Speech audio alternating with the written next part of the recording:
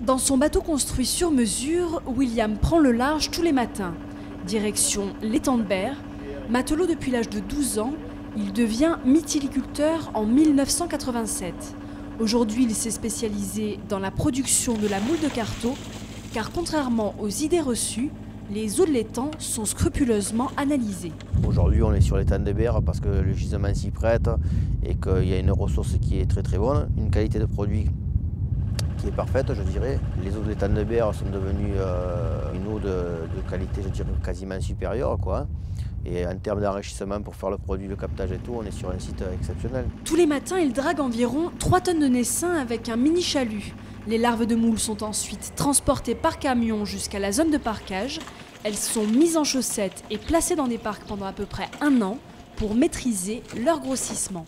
Table de terre, c'est euh, la profondeur à peu près 3 mètres et table du large 4 mètres.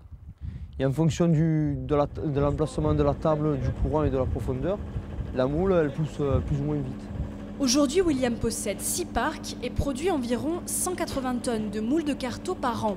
Et si la pêche est bonne, c'est aussi parce que depuis quelques années, les clients préfèrent se tourner vers les producteurs locaux. Que ce soit les clients privés comme les poissonniers et les restaurants, aujourd'hui euh, réclament une qualité de produit. Quoi.